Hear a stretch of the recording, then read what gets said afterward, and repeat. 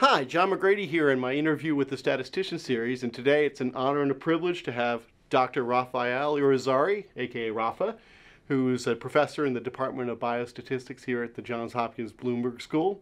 Rafa did his education, he did his undergrad degree at the University of Puerto Rico, and then went on to do a graduate fellowship and a PhD at the University of California, Berkeley in the Department of Biostatistics, working under David Brillinger and he's been very active. His career here at Hopkins has gone down many routes, but recently he's been very active in the field of statistical genomics, and so we're going to talk to him about that and some of his thoughts on the future of biostatistics in general.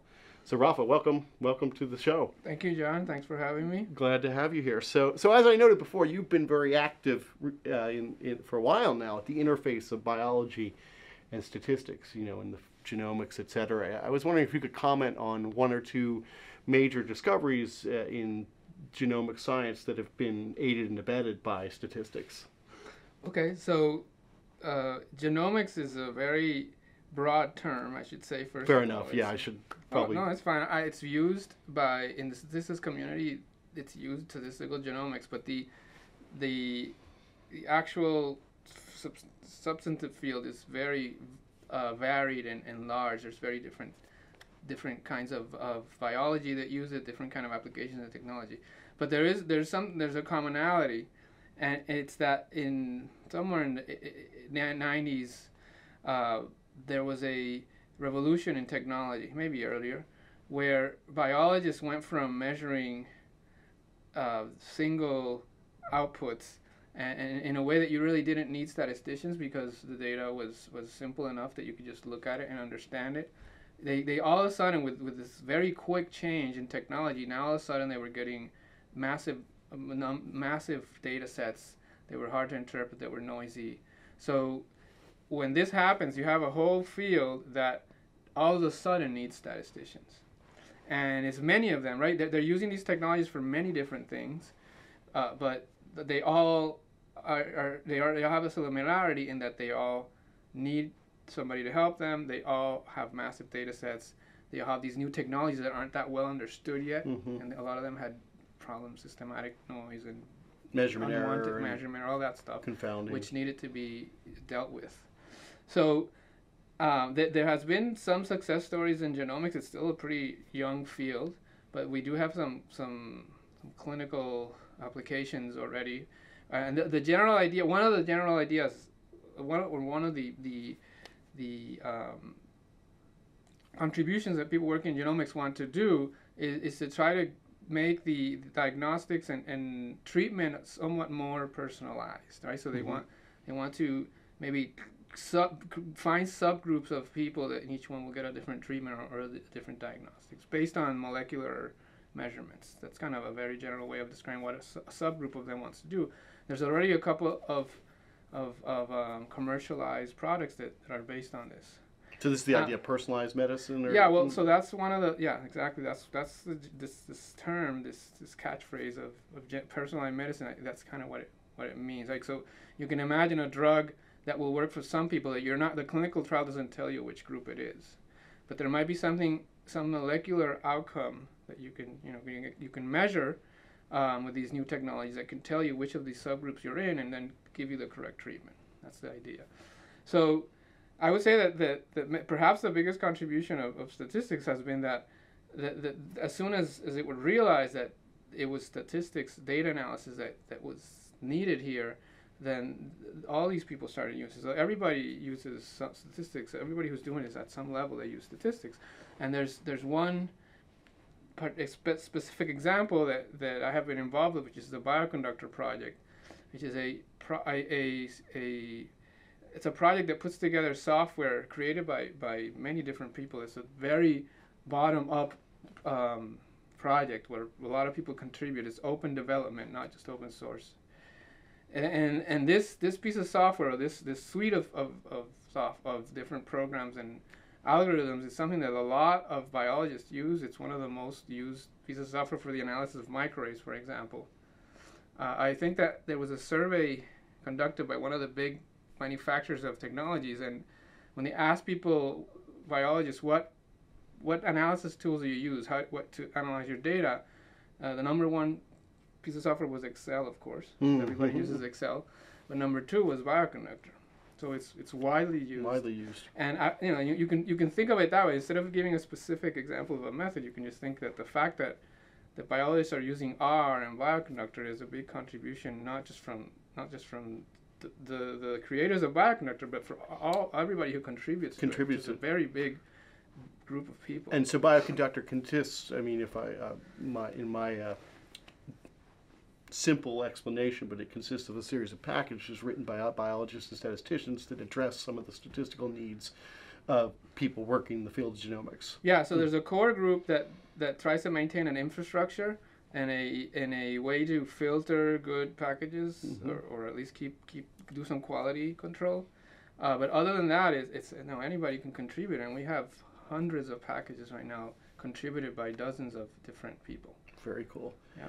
So Rafa is actually the third link in the uh, Simply Statistics blog. We've already talked to Jeff and Roger, and uh, he's the, uh, the uh, the ultimate, uh, you know, editor here. So uh, you know, Rafa, like both in the context of biology and genomics, and also in general.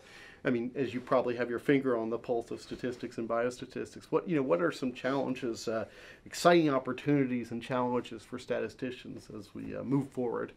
You know, in the next few years, what is anything come to the top of your head? Well, well, yeah. I mean, that it's it's an it's an, a great time to be a statistician right now. There's just like it happened with biology. It's not the only field where this happened. All of a sudden, data arrived as, as a, a, as, as a way to, to discover new science. There's this has happened in in you know you can see it in baseball. You can watch the movie Moneyball. Moneyball. Um, it happened with the with the polling, you, the, Nate, the Nate Silver story, and there's others as well. We actually talk about this in the blog. In, in Netflix, right, it uses data to predict what movies you like.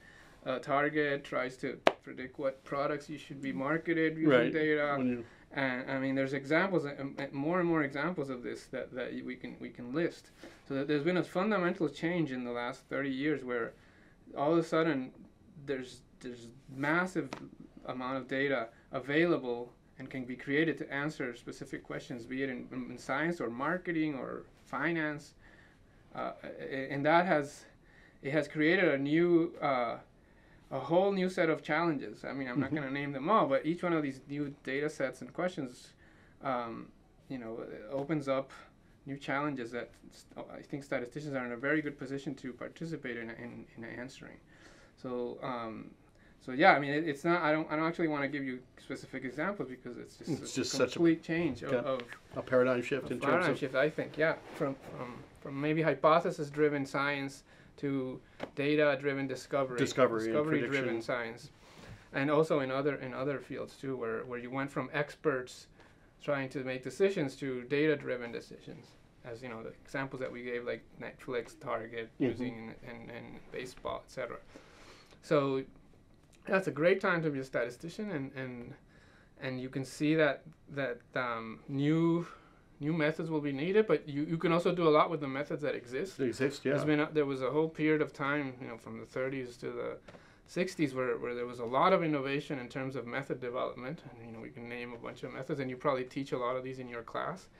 Uh, and those methods were w- w- are very powerful and can be used today.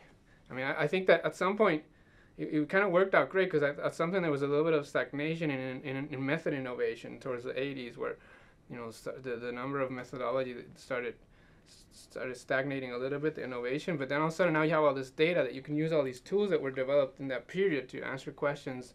And i, I imagine that going forward new methods will, will be needed and they'll, they'll, they'll arise from these new challenges and questions Well, it's actually interesting to hear you say that. Actually, so you, you know, I'm always telling people in the introductory classes that really, you know, this is these are the fundamental building blocks on which a lot of statistics is done, and a box plot is useful Uh-huh. when you're looking at, uh, you know, a simple data set and a complex data set, et cetera, and a lot of the regression models that we I, talk I gotta about. say I, I think i use a box plot in every single data analysis i do Excellent. So, even so you hear that? That's like, I mean, these as fancy as the questions asked and the data and the expensive you know you have a two million dollar data set you still got to look at Many what's times going on. I, I start off with a box plot histograms, scatter plots. Excellent. And then, you know, when you get into dealing with, like, you know, when you're doing uh, associations in genomics and you have confounding by batch effects, et cetera, it's, it's just the basic linear models, right? Mhm. And, and sometimes extensions thereof, giving the structure of the data, and then certainly a lot of the prediction that's being done by you know Target and Google and uh, Netflix, and in the realm of personalized medicine, or the attempt is done through uh, expanding regression models, right? Ex- ex- prediction models, yeah, Predict- actually existing prediction models. A lot of the, the winners are combinations of, of, of previous methods, not necessarily new ones. So what we're doing in these classes is really fundamental to the next steps. Absolutely, yeah. And I would say also understanding one, one of the advantages that we have as statisticians is understanding variability very well and understanding chance and how Chance, yeah. chance can fool you. Uh, you. That is a common problem you see in genomics that you see people being fooled by chance. It's very common. You see a pattern, it looks real, but you don't really understand. It's, it's counterintuitive that it's actually not real. Mm-hmm. So you need the mathematics, the statistics knowledge to to to decipher that it actually is not. It's just it's just due to s- serendipitous.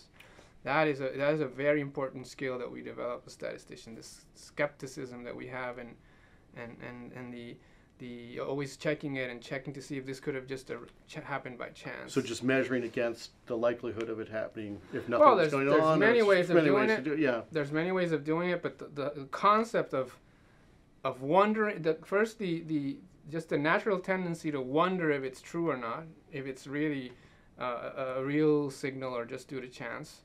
Uh, it, that that in itself is a big contribution you can make.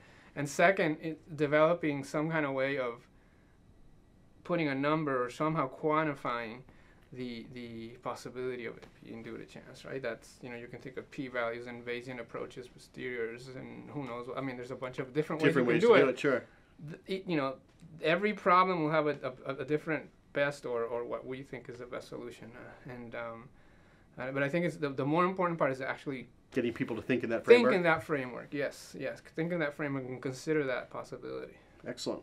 Well, thank you for taking the time to come out Sure, it today. was It's been a pleasure to have you, and uh, I'm sure my our listeners are thrilled to hear your take on this. And we'll uh, again put the link to Simply Statistics in the uh, comments section. There's a lot of good information there.